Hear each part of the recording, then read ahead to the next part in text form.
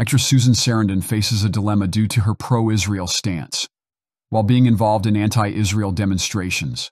Have their voices heard, and that is their right in a democracy, especially in a place of education and supposedly higher thought, to be uh, attacked with racism and intolerance is not acceptable. There are many, many people who stand with you. You must know that you inspire so many people. People who are afraid, people who are old and afraid, are looking to you and your voices and your organization and your tenacity and your kindness to make a difference in this situation. You give me hope to me and so many people, and in the end, the truth will win.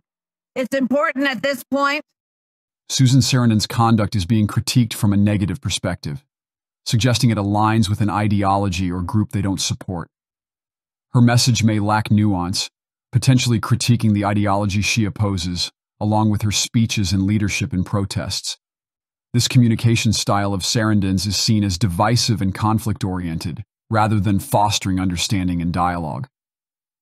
The repercussions of Sarandon's activism could include alienating certain segments of her audience or facing professional consequences. For public figures like her, the broader impact of their actions is a crucial consideration.